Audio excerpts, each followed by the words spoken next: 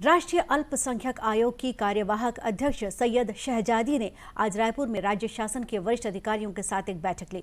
इस दौरान उन्होंने अल्पसंख्यक कल्याण पर प्रधानमंत्री के नए पंद्रह सूत्रीय कार्यक्रम, केंद्र और राज्य सरकार की अल्पसंख्यकों के कल्याण के लिए बनाई गई योजनाओं की समीक्षा की।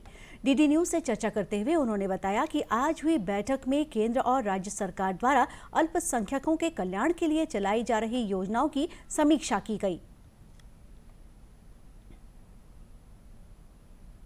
ये जो जो स्कीम चल रहे हो केंद्र सरकार से हो या राष्ट्र सरकार से हो, स्टेट गवर्नमेंट से हो, उनके रिव्यू के लिए आए थे और कहाँ कहाँ पर क्या चल रहा है माइनॉरिटियों के लिए उस विषय पर आज चर्चा हुई है।